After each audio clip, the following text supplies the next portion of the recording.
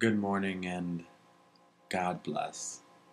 It's such an amazing honor to be able to audition for you today, Mr. Marks. It's beyond what I ever thought the Lord would bring to me. My name is Bryant Markowski, and I am the worship leader at Beckinfield Baptist Chapel here in town, and I am so looking forward to auditioning for you as Bradford Beckin.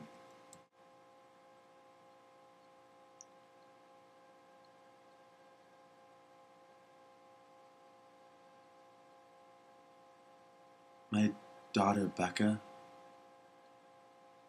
she's my life. I lost my wife not long after the battle for this land with the Pimbobi Indians. Those brave tribe members, they fought to the point of extinction. I came west looking for land to farm.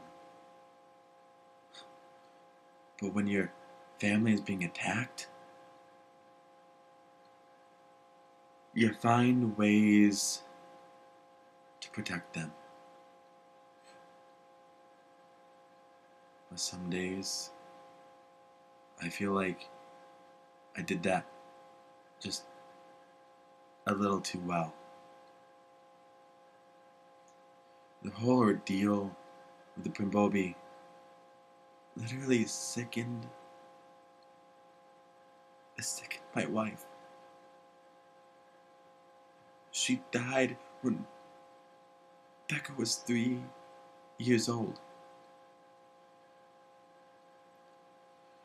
The Primbobi tribe fought the last man to defend this very area. And it wasn't until I was plowing a field up on the crest of the outskirts of town